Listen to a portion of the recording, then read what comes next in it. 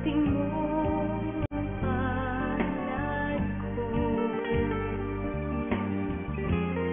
lamang Hunyo 2, nagsagawa ang SM Foundation ng isang medical mission sa SM Dasmariñas, Cavite. Dito nakilala namin si Girly Dulia na merong problema sa kanyang bato.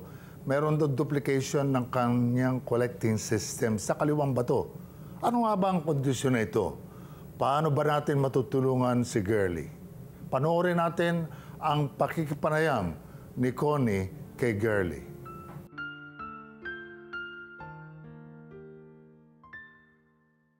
Kasama po natin ngayon dito sa Isnasagaw Medical Mission sa Dasmariñas, Cavite, si Girly Pugado Tulia.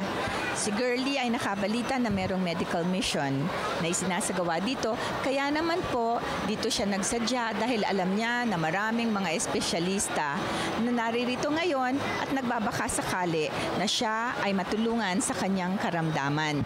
Girly, ano bang dinaramdam mo? Ah, meron po kasi akong sakit po na sa kidney daw po. Nagkaroon daw po ng duplication yung tubo po ng, yung dinadaanan po ng ihi ko sa kidney sa kaliwa. Tapos po, yun po nalaman po ng doktor na meron po palang problema sa kidney. Duplicate daw po yung pinakatubo. Yung dalawa po yung tubo na dinadaanan ng ihi ko. Yun po yung napapahirap po sa akin. Mula sa pagkabata, mayroon ng abnormalidad sa kidney si Gerly pero kamakailan lamang siya nakaranas ng matinding sakit kaya doon siya nagpatingin sa doktor. Girly, parang kakaiba yan. Ang ibig kong sabihin, kasi ang normal ay tubo lang ang dinadaanan ng ating mga ihi. Yun. Pero yung sa'yo, dalawa. Opo, Ano yun po. yan? Congenital? Pinanganak ka na meron ng dalawang tubo yan? Po, Yung pagka newborn daw po sa akin, meron na daw po ito nung pagkalabas pa lang sa akin. So ngayon daw po eh, hindi daw po naagapan ng maliit pa ako. Ngayon ko po naramdaman na palala po siya. Kaya sabi po ng doktor sa akin, wag ko na raw po mapatagalin. Isang magandang pagkakataon para kay Gerly ang makarating sa isinagawang medical mission sa Dasmariñas, Cavite. Girly, dahil ikaw ay nandito ngayon sa medical mission dito sa Dasmariñas, Cavite, yung medical mission ng SM Foundation at nabanggit mo nga kanina at nabanggit natin na talagang marami tayong mga espesyalista na naririto at tamang-tama yan sa mga dinaramdam mo. Meron tayong urologist, meron tayong um, obstet- obstetrician para dun sa lahat ng mga nabasa ko at mga na-complain mo, no? So, ipakikita ka namin dito sa mga doktor na ito at wag kang ma- mag-alala. Titignan natin kung ano ang magagawa natin para sa iyo at titignan natin kung ano ang magagawa naming tulong para sa iyo. Okay? Sige. Pero pansamantala, tanggapin mo muna itong aming handog para sa iyo, ha? Maraming At salamat po. At- maraming, maraming salamat po sa kapwa ko mahal ko, sa SM dito po, sa foundation po nila. Sa mission medical medical mission nila dito sa SM Dasma, napapasalamat po ako at natugunan po nila yung panawagan ko po. Makalipas lamang ang ilang sandali, nagkonsulta si Gerly sa iba't ibang espesyalista. Dito na ipaliwanag sa kanya ang kanyang kondisyon.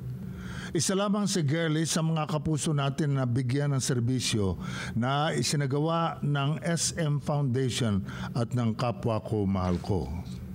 Um, sa mga nanonood po ngayon dito sa medical mission sa SM Dasma Riñas Cavite, ako po ay nananawagan sa inyo. Nagbabaka sakaling matulungan niyo po ang problema ko na mapaghamot ko po ng maayos yung sakit ko dahil po sa wala po akong pinansyal na ga- magagamit po sa sarili ko.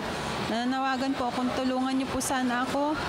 Yung bukol, bukal lang po sa kalooban niyo, magpapasalamat po ako ng marami sa inyo na para po mapagaling na po ako hirap na hirap na po kasi ako sa karamdaman ko. Pabayaan mo, girly, na aasahan natin na sana ay ah, yung mga pinanawagan natin at hininga natin ng tulong ay magbigay naman ng suporta sa iyo.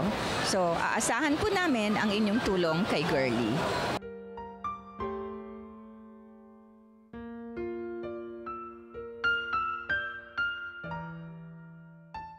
Ano man tulong na may bibigay natin para sa kanya ay napakalaking bagay sa pagginhawa niya.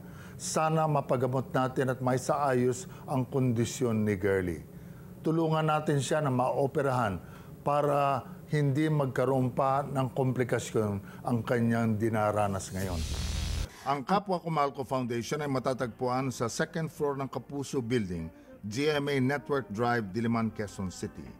Ang telepono 9827-777, local 9950 o direct line number 333-7684. Sa mga nais mag-donate o tumulong sa aming pasyenteng ipinapanawagan, maaari po kayong magdeposito sa mga BDO branches na makikita sa mga SM malls. Ang mga BDO branches sa mga SM malls ay bukas araw-araw kahit Sabado o Linggo. Ang ating pong email address, kapwako at gmanetwork.com. Sa Facebook, www.facebook.com slash kapwako. Bisitahin ang aming website www.kapwako.org para mapanood ang mga nagdaang episodes. Maari din kayong mag-donate gamit ang inyong credit card, debit card, at Globe GCash. Kailangan din namin ang mga wheelchairs, oxygen tanks, mga oxygen gauge, crutches at nebulizers. Tanggapin